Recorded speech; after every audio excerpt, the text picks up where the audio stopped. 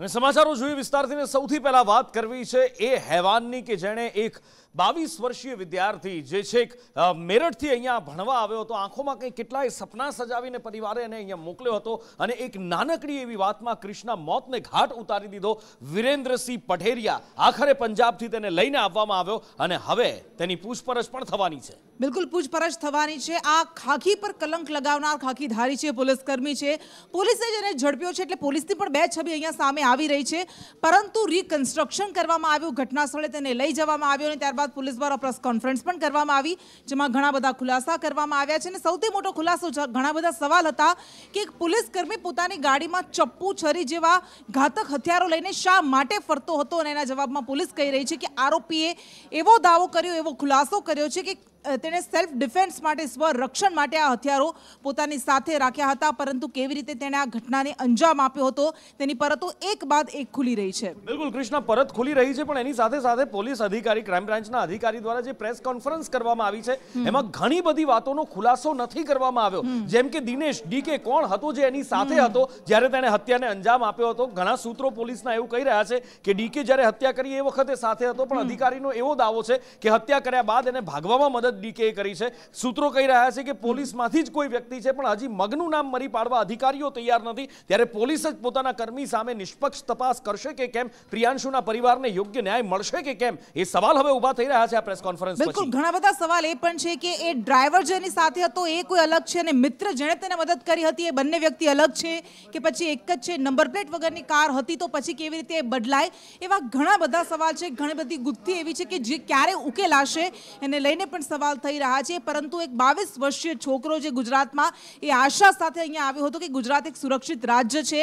અહીંયા એ સપનાઓ લઈને આવ્યો હતો, પોતાના ભવિષ્ય, સોનેરી ભવિષ્યને ઘડવા માટે આવ્યો હતો અને એમબીએના બીજા વર્ષમાં અભ્યાસ કરતા આ બાવીસ વર્ષીય યુવકને મોતને ઘાટ ઉતારી દેવામાં આવ્યો અને એ પણ નાનકડી બાબતમાં, પરંતુ નુપુર, અહીંયા આ એક કર્મી છે, વિક્રમસિંહ પઢેરિયા ગઈકાલે એનો ફોટો સામે આવ્યો હતો અને એમાં પણ એને જે કેપ્શન લખ્યું હતું અને હવે આ ઘટના, પરંતુ બે હજાર સત્તરમાં પણ કોલ સેન્ટર રેકેટ કાર્ડમાં પણ એની ધરપકડ કરવામાં આવી હતી સસ્પેન્ડ કરાયો તો ફરી પાછો ડ્યુટીમાં લઈ લેવાયો હતો. બિલકુલ, એ પછી બે હજાર પણ સસ્પેન્ડ થયો, બે હજાર ફરી પાછો આવ્યો. સવાલ થવો સ્વાભાવિક છે કે ટાટા હેરિયર એક ગાડી કે જે સત્તર લાખથી લઈને વીસ, બાવીસ, પચીસ લાખ સુધીની કાર આવે છે, એક સસ્પેન્ડ થતો, વારંવાર સસ્પેન્ડ થતો કોન્સ્ટેબલ કેવી રીતે અફોર્ડ કરી શકે? આ જ પોલીસ મેળો છે કે જ્યાં પીએસઆઈ પઠાણ જેવા જાબાજ અને ઈમાનદાર અધિકારીઓ પણ છે કે જે પોતાની ડ્યુટી માટે જીવને ઓછાવર કરી દે છે. ત્યાં બીજી બાજુ આવા કર્મચારીઓ પણ છે કે જે ખૂંખાર ક્રિમિનલ બની નિર્દોષોના જીવ લેતા ફરે છે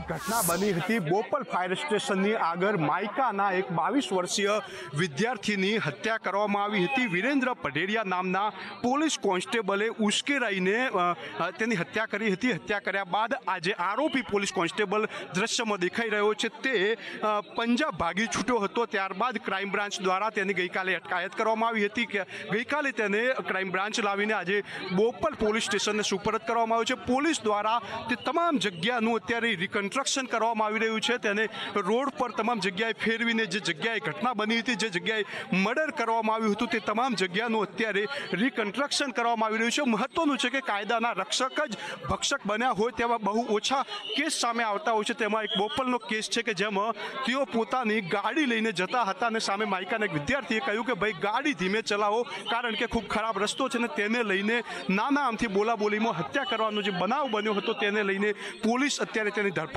તો કરી છે. ધરપકડની સાથે જ જાહેર રસ્તા પર તેનું રિકન્સ્ટ્રક્શન કરવામાં આવી રહ્યું છે અને તમામ પ્રકારની વિગતો છે તે એકત્ર કરવામાં આવી રહી છે. મહત્વનું છે કે જેમનું કામ કાયદાનું રક્ષણ કરવાનું છે તેને જ કાયદાનું ભક્ષણ કર્યું હતું ને એક નાના અમથા બાવીસ વર્ષના વિદ્યાર્થીની હત્યા કરી હતી ને જે પગલે અત્યારે પોલીસ તમામ જગ્યા પર રિકન્સ્ટ્રક્શન કરી રહી છે.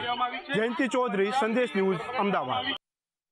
જિગ્નેશ પાસેથી જાણીએ. જિગ્નેશ, પ્રેસ કોન્ફરન્સ કરવામાં આવી. ઘણી બધી માહિતી આપવામાં આવી છે, પણ ઘણી બધી માહિતી આપે પ્રેસ કોન્ફરન્સમાં જ હતા. ઘણી બધી માહિતી છુપાવાઈ હોય જાણે. અમુક વાતોમાં તો મજાક કરી હોય પોલીસે. એવું લાગે છે કે છરી કેમ રાખી? તો એક પોલીસ કોન્સ્ટેબલ એવું કહે કે મેં સ્વરક્ષા માટે રાખી હતી અને પોલીસ અધિકારીઓ માની પણ લે ને આવી બીજી બધી ડીકેની વાત હોય કે ઘણી બધી વાતો શંકા ઉપજાવી એવી છે. સૌથી મોટી શંકા નુકુર એ વાત ઉપર ઉપજે છે કે આખરે જે અજાણ્યા વ્યક્તિ અને જે માત્ર એક સ્કેચનો પીછો પોલીસ કરી રહી હતી તે અચાનક જ એક પોલીસ કર્મચારી સુધી કેવી રીતે પહોંચી? જ્યારે તેનો સવાલ પૂછવામાં આવ્યો અધિકારીઓ ત્યારે તેમનું સ્પષ્ટ કહેવું હતું કે તેમની ઇન્ટરનલ જે તપાસ હતી, જે બાતમીદારોનું નેટવર્ક હતું, તેના થકી માહિતી મળી. પરંતુ ઇનસાઇડ સ્ટોરી અને જે પોલીસ સૂત્રોનું કહેવું માનીએ તો સરખેજ પોલીસના કર્મચારી અને અધિકારીઓ દ્વારા જ આ વ્યક્તિની સંડોવણી હોવાની શક્યતા ઉચ્ચ અધિકારીઓને વ્યક્ત કરાઈ હતી અને ત્યારબાદ જ ક્રાઇમ બ્રાન્ચને જે ફરાર જે પોલીસ કર્મચારી હતો કે જે અચાનક જ પોતાના એક રિલેટિવના મૃત્યુ બાદ જે રજા ઉપર ઉતર્યો હતો અને ત્યારબાદ તે પોલીસ સ્ટેશન આવવાની જગ્યાએ ગુજરાત છોડીને ભાગી ગયો હતા. તે વિરેન્દ્રસિંહ પટેરિયાની પોલીસે અટકાયત કરી અને ધરપકડ કરી. પોલીસની બે વાત ઉપર હજી પણ શંકા ઉપજે તેવી છે. કેટલાક અધિકારીઓ કહે છે કે જ્યારે બનાવ બન્યો ત્યારે તેની ગાડીમાં દિનેશ ઉર્ફે ડીકે નામનો વ્યક્તિ હાજર હતો. પરંતુ હવે અધિકારીઓ તેવું કહી રહ્યા છે કે જ્યારે બનાવ બન્યો ત્યારે તે એકલો હતો અને ત્યારબાદ તેની સાથે દિનેશ ઉર્ફે ડીકેની હાજરી થઈ. પરંતુ તે દિનેશ કેવી રીતે તેની સાથે આવ્યો? શું દિનેશ આવ્યો? તે પહેલા દિનેશે વિરેન્દ્રસિંહે કોઈ હકીકત જણાવી હતી કે કેમ, શું તેને એટલી ખબર હતી કે આ જે તેને હુમલો કર્યો છે તેમાં વિદ્યાર્થીનું મૃત્યુ થઈ ચૂક્યું છે? ત્યારબાદ એ વાત જાણીને ડીકે તેની સાથે જોડાયો. તે ઘણા બધા વણ સવાલો છે જે હજી પોલીસ તેનો જવાબ આપવામાં નિષ્ફળ નીવડી છે. પરંતુ હવે જે પ્રમાણે પોલીસ અધિકારીઓનું કહેવું છે કે આવતીકાલે તેના રિમાન્ડ લેવામાં આવશે. રિમાન્ડના મુદ્દા ઘણા બધા હજી મોટા છે, માટે તેને લઈ અને પોલીસ તપાસ કરી રહી છે. પરંતુ સૌથી ગંભીર વાત બીજી એ પણ છે કે આખરે આરોપીએ પોતે છરી ક્યાં નાખી? તે હજી સુધી તે પોતે નથી જણાવી શક્યો. ચાલુ રસ્તા પર નાખી દીધી હોવાની વાત કરે છે. તો બીજી તરફ ગ્રામ્ય એસપીનું કહેવું છે કે તેને તે પોતાની કાનની કડીઓ અને જે કપડાં હતા તે પોતાના ઘરે મૂકી દીધા છે. માટે હજી કેટલાક જે સવાલોના જવાબમાં વિસંગતતા આવી રહી છે તે પોલીસ માટે સૌથી મહત્વનો મુદ્દો રહેશે અને જો તેને યોગ્ય જવાબ નહીં મળે, તો કદાચ પોલીસને આ કેસમાં ધાર્યું પરિણામ ન મળે તેવી પણ શક્યતાઓ જોવાઈ રહી છે.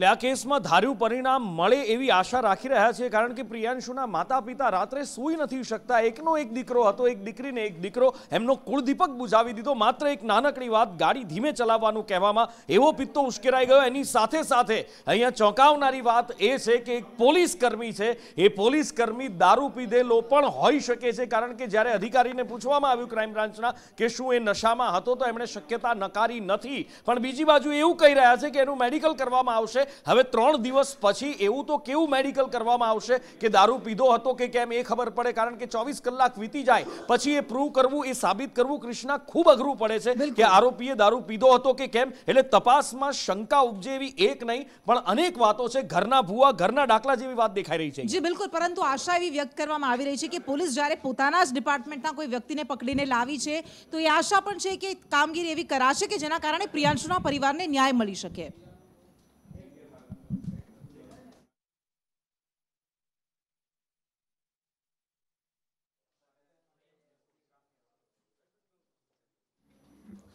અને જ્યારે આરોપીને ઘટના સ્થળે લાવવામાં આવ્યો રિકન્સ્ટ્રક્શન કરવામાં આવ્યું, દોડા બાંધીને તેને લાવવામાં આવ્યો હતો?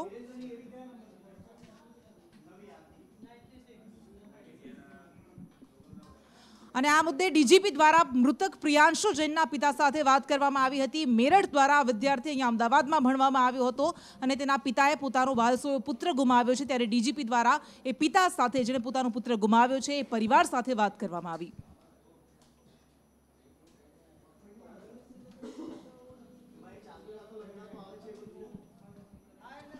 ગઈ તારીખ દસની, દસ નવેમ્બરની રોજ રાત્રે દસ વાગે બોપલની હદમાં એક બનાવ બનવામાં આવેલા હતા. એમાં બે વિદ્યાર્થીઓ બુલેટમાં જવી રહ્યા હતા. ત્યારે પાછળથી બ્લેક કલરની ગાડી જોડે એની રકઝક થઈ અને એનો પછી બુલેટનો પીછા કર્યો, રોકવામાં આવ્યો અને ત્યાં ફરીથી રકઝક થઈ અને ત્યાં એ આરોપીએ ચપ્પુનો ઘા માર્યો અને જેના કારણે વિદ્યાર્થીની મોત થઈ. આ બનાવનો તાત્કાલિક એફઆઈઆર રજિસ્ટર કરવામાં આવ્યો અને અમદાવાદ ગ્રામ્ય અને અમદાવાદ ક્રાઇમ બ્રાન્ચ સંયુક્ત રીતે કુલ ત્રણસોથી વધારે સીસીટીવી કેમેરા પણ ચેક કર્યો. એક જધન્ય અપરાધ કર્યો છે. આ પઢેરિયાએ કે એક વિદ્યાર્થીનો જીવ છીનવી લીધો, એક પરિવારનો માળો વીખી નાખ્યો, એક પરિવારનો કુળદીપક બુજાવી દીધો છે અને આવો જ જધન્ય અત્યાચાર, આવો જ જધન્ય અપરાધ ખ્યાતિ મલ્ટી સ્પેશિયાલિટી હોસ્પિટલ કે જે હવે ખ્યાતિ મલ્ટી સ્કેમ હોસ્પિટલ બની ચૂકી છે. એ છેલ્લા કેટલાય વર્ષોથી કરતી આવે છે. કેટલાય લોકોના અત્યાર સુધીમાં પૈસાની લાયમાં જીવ લઈ લીધા છે અને કૃષ્ણા જેમ જેમ તપાસ આગળ વધી રહી છે, એમ એમ એક એક પરતો ખુલી રહી છે અને ચોંકાવનારી ભયાનક વિગતો સામે આવી રહી છે. બિલકુલ, આ કુખ્યાત હોસ્પિટલ હોસ્પિટલના અનેક કૌભાંડ સામે આવી રહ્યા છે, પરંતુ જે લોકોએ, જે પરિવારોએ પોતાના ઘરના મહલસોયા લોકોને ગુમાવી દીધા છે, સ્વજનોને ગુમાવી દીધા છે, એ બોરીસણા ગામમાં આજે પણ આક્રોશ છે કે આ ખ્યાતિ હોસ્પિટલ સામે ક્યારે કાર્યવાહી કરવામાં આવશે. માત્ર અત્યાર સુધી એક ડોક્ટરની જ ધરપકડ કરવામાં આવી છે અને એના કારણે પણ ઘણા બધા સવાલો ઊભા થઈ રહ્યા છે, સંજય. ચોક્કસથી હજુ સુધી કાર્યવાહીના નામે માત્ર ને માત્ર વાતો જ કરવામાં આવી રહી છે. જ્યારે બોરીસણા ગામના લોકો છે કે જે આ ખ્યાતિ હોસ્પિટલના કાંડના ભોગ બન્યા છે, એ લોકો પોતાની ફરિયાદ લઈને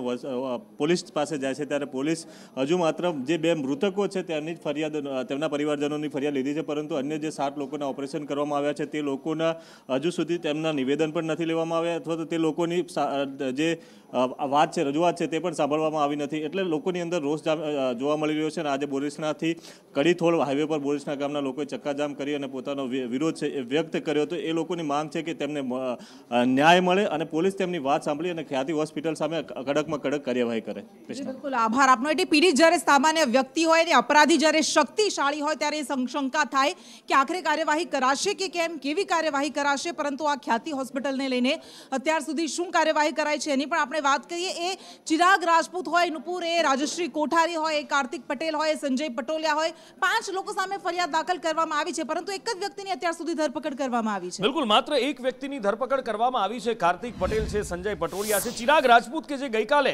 ઠઠ્ઠા મશ્કરી કરી રહ્યો હતો, અટહાસ્ય કરી રહ્યો હતો આ લોકોના મોત ઉપર જેને એની હોસ્પિટલના ડોક્ટરોએ મોતને ઘાટ ઉતારી દીધા છે. એ ક્યાં છે, શું છે? ગઈકાલ સુધી મીડિયાની સામે હતો, પણ જેવી ફરિયાદ દાખલ કરવામાં આવી કે અચાનક એ ગાયબ થઈ ગયો ખબર નહીં એવા તો કોના ચાર હાથ છે? પછી એ કાર્તિક પટેલ હોય, સંજય પટોળિયા હોય કે પછી ચિરાગ રાજપૂત હોય કે બીજા ઘણા બધા એવા ડૉક્ટર છે. ચોંકાવનારી વિગત એ પણ સામે આવી છે કે કુલ પચીસ ડૉક્ટરો ખ્યાતિ હોસ્પિટલ સાથે જોડાયેલા હતા અને પચીસે પચીસ ડૉક્ટરો અત્યારે ભૂગર્ભમાં ઉતરી ગયા છે. આશંકા તો એવી વ્યક્ત કરાઈ રહી છે કે કાર્તિક પટેલ દેશ છોડીને ભાગી ગયો છે.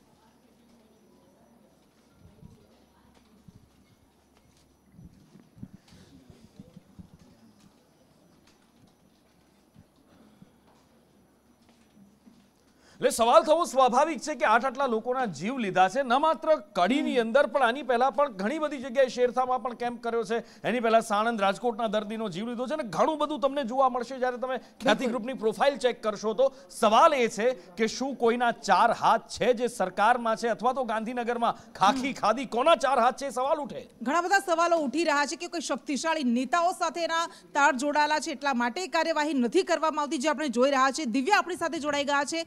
દિવ્યા અનેક સવાલો ઉઠી રહ્યા છે તપાસને લઈને. કૃષ્ણા, સવાલ એટલા માટે ઉઠે કે અગિયાર અગિયાર તારીખની ને અગિયાર નવેમ્બરની આ ઘટના હતી, પરંતુ આજે તારીખ ચૌદ થઈ છે. આરોપીઓ આસપાસ ફરતા હતા, હોસ્પિટલમાં વિઝિટ કરતા હતા. સીઈઓ બેદરકારી ઉપર હસતા નજરે પડે છે. મીડિયા સમક્ષ બેફામ નિવેદનો આપતા નજરે પડે છે, પરંતુ તેમની સામે કાર્યવાહી છે તે કરવામાં નથી આવતી અને હવે માત્ર એક નાટ્યાત્મક રીતે માત્ર એક આરોપીની ધરપકડ કરવામાં આવી છે અને આજે એને કોર્ટ કાર્યવાહી માટે કોર્ટમાં રજૂ કરવામાં આવશે. જ્યારે અન્ય કેટલાક આરોપીઓ છે તે હજી પણ પકડની બહાર છે. જ્યારે પોલીસની સમક્ષ હતા ત્યારે ધરપકડ કરવામાં ન આવી. શા માટે ન કરવામાં આવી તેને લઈને પણ સવાલ ઉઠી રહ્યા છે.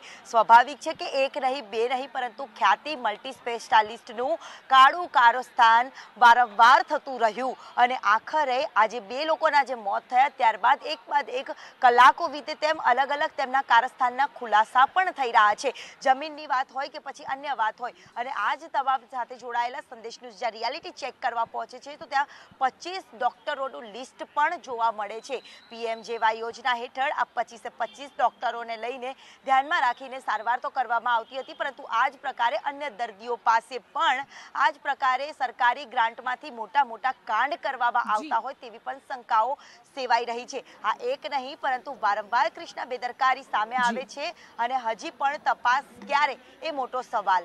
તપાસ ક્યારે? મોટો સવાલ. બિલકુલ આભાર આપનો. એટલે નુપુર આ તો એક કાંડ સામે આવ્યું એટલા માટે હવે સવાલો ઉઠી રહ્યા છે. પરંતુ આપણે જોયું કે રાજકોટના વિશાલ પટેલે પણ કહ્યું હતું કે મારા પિતાનું જીતુ બ્રહ્મભટ્ટ દ્વારા ઓપરેશન કરાયું હતું. પચીસ પચીસ ડોક્ટર્સ જે હોસ્પિટલમાં કામ કરે છે તો પણ શંકાના દાયરામાં છે. બિલકુલ શંકાના દાયરામાં. અને મહત્વની વાત અહીંયા એ છે ચોંકાવનારી વાત કે પચીસે પચીસ ડોક્ટર અત્યારે ભૂગર્ભની અંદર ઉતરી ગયા છે. ખ્યાતિ મલ્ટી સ્પેશિયાલિટી હોસ્પિટલનું જો તમે ટર્નઓવર જુઓ તો આંખો પોળી થઈ જાય એવા આંકડા. ત્રીસ કરોડ રૂપિયાનું વર્ષનું ટર્નઓવર છે. દિવ્યા જોડાયેલા છે. દિવ્યા પચીસ ડોક્ટરો ભૂગર્ભમાં ઉતરી ગયા છે. માત્ર ને માત્ર પૈસાનો ખેલ એક હોસ્પિટલ કે જેનું ત્રીસ કરોડ રૂપિયાનું ટર્નઓવર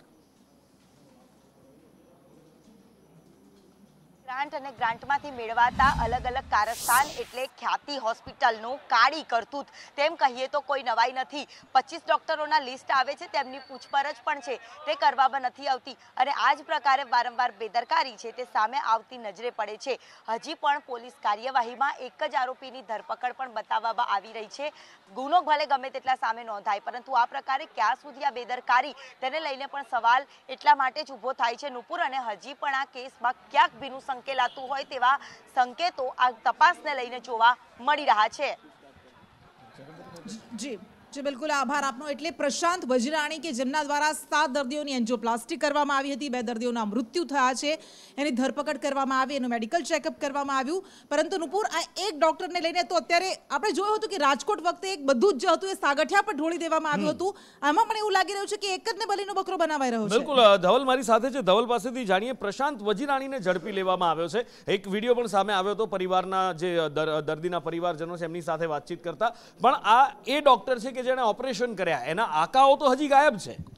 જી નુપુર સૌથી મહત્વની વાત છે કે હંમેશા આપણે ડૉક્ટરને ભગવાનનું રૂપ માનતા આવ્યા છીએ, પરંતુ આ ડૉક્ટરો શુંનું શું કરી રહ્યા છે? એનો આ કિસ્સો સૌથી મોટો, આખું ગુજરાત જાગી જાય એવો કિસ્સો સામે આવ્યો છે ને એમાં ડૉક્ટર પ્રકાશ જે વજીરાણી છે એની પોલીસે ધરપકડ કરી છે. પણ મહત્વની વાત હવે શરૂ થાય છે કે માત્ર ને માત્ર શું પ્રકાશ વજીરાણી જ જવાબદાર છે કે અન્ય કોઈ પણ જવાબદાર છે કે નહીં? સરકાર માત્ર આના પર જ એક્શન લઈ રહી છે કે કેમ?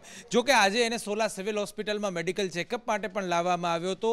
પણ જ્યારે સંદેશ ન્યૂઝે જ્યારે એની સાથે વાતચીત કરવાનો પ્રયત્ન કર્યો, ત્યારે પોલીસ આડી આવી અને એની સાથે વાતચીત પણ નહોતી કરવા દેવામાં આવી. મહત્વની વાત એવી પણ હતી જ્યારે ગ્રાઉન્ડ રિપોર્ટિંગ થઈ રહ્યું હતું, ત્યારે એવું લાગી રહ્યું હતું કે એને વીઆઈપી ટ્રીટમેન્ટ આપવામાં આવી રહી છે. એટલે કે ડૉક્ટર પ્રકાશ વજીરાણી પર કોઈનો હાથ છે અથવા તો એના આકાઓ પર કોઈનો હાથ છે? શું નેતાઓનો હાથ છે કે શું એ પણ સૌથી મોટો સવાલ અહીંયા ઊભો થઈ રહ્યો છે? પરંતુ આમાં કેટલો ન્યાય દર્દીઓને મળશે પરિવારજનોને મળશે એ તો હવે ઈશ્વર જ જાણે. બિલકુલ, અને કોના કોના ચાર હાથ છે એની તપાસ થવી પણ કૃષ્ણા જરૂરી છે. એનું કારણ એ છે કે રજિસ્ટ્રેશન વગર હોસ્પિટલ ધમધમી રહી હતી. રજિસ્ટ્રેશન વગર કેવી રીતે કોઈ હોસ્પિટલ ધમધમી શકે? સવાલ થાય. ઘણા બધા સવાલ થાય. બે હજાર એકવીસમાં અસ્તિત્વમાં આવી હતી. બે હજાર બાવીસ બાદ જ કાળા કારનામા શરૂ કરી દીધા હતા. પરંતુ હવે આ એક ઘટના સામે આવી છે એટલે બધી જ હોસ્પિટલની તપાસ કરવામાં આવશે. ક્લિનિકલ એસ્ટાબ્લિશમેન્ટ એક્ટ હેઠળ કેટલી હોસ્પિટલોની કેવી રીતે તપાસ કરાશે, શું માપધોરણો છે, માપદંડો છે, એને લઈને વિગત આપશે અંકિત મહેતા. એસ્ટાબ્લિશમેન્ટ એક્ટ જે છે તે બે હજાર એકવીસમાં અમલમાં આવી ગયો હતો કૃષ્ણ. પરંતુ બે હજાર ચોવીસના તેર માર્ચ બે હજાર ચોવીસે તેને અમલીકરણ માટે એટલે કે ગેઝેટ તેનું બનાવી દેવામાં આવ્યું હતું અને ત્યારથી લઈને અત્યાર સુધી કેટલી હોસ્પિટલોએ તેમાં રજિસ્ટ્રેશન કરાવ્યું છે તેનો કોઈ ચોક્કસ આંકડો સરકાર પાસે નથી. મુદ્દો એ છે કે સરકારે આ વસ્તુ પહેલેથી કરવાની જરૂર હતી, પરંતુ સરકારે હજી સુધી કરી નહીં. હવે આ મુદ્દો જ્યારે આટલો મોટો થયો, ત્યારે સરકારે આ વસ્તુને મુદ્દો બનાવે છે કે હવે બાર માર્ચ બે હજાર પચીસ એટલે કે આગામી વર્ષ સુધી એસ્ટાબ્લિશમેન્ટ એક્ટ જે ક્લિનિકલી એસ્ટાબ્લિશમેન્ટ એક્ટ જે છે તેની અંદર રજિસ્ટ્રેશન જે છે તે તમામે તમામ હોસ્પિટલોએ કરાવવું કમ્પલસરી હશે. મુદ્દો એ છે કે જો રજિસ્ટ્રેશન નહોતું થયું તો પીએમજેમાં આ હોસ્પિટલ આવી કેવી રીતે? આ સિવાય પણ અન્ય ઘણી બધી એવી હોસ્પિટલો હશે કે જે પીએમજેમાં હશે, પરંતુ તેનું રજિસ્ટ્રેશન થયું નહીં હોય. આ વસ્તુ પર સરકારને ખબર નથી કે આટલી બધી હોસ્પિટલો બનેલી છે, આટલી બધી હોસ્પિટલોમાં દર્દીઓ આવે છે, આટલી બધી હોસ્પિટલોમાં પીએમજે રજિસ્ટ્રેશન વગર ત્યાં આગળ કાર્યવાહી થાય છે અને ત્યાં પૈસા પણ એ હોસ્પિટલોને મળે છે. સરકારને આ બધી ખબર નથી, પરંતુ જ્યારે આ મુદ્દો થયો આટલો મોટો, બે વ્યક્તિઓના જીવ જતા રહ્યા, ત્યારે સરકારને ભાન થયું છે કે હવે રજિસ્ટ્રેશન જરૂરી છે. જેમ જેમ ટીઆરપી અગ્નિકાંડમાં થયું હતું ત્યારબાદ તમામે તમામ જે ગેમ ઝોન હતા તેના પર જેવી ગાજ વરસાવી હતી તેવી જ રીતે તમામે તમામ હોસ્પિટલો પર પણ આ વખતે ગાજ વરસાવવાનો પ્રયત્ન જે છે તે સરકાર દ્વારા કરવામાં આવ્યો છે અને બે એટલે કે બાર માર્ચ બે સુધી રજિસ્ટ્રેશન કમ્પલસરી કરી દેવામાં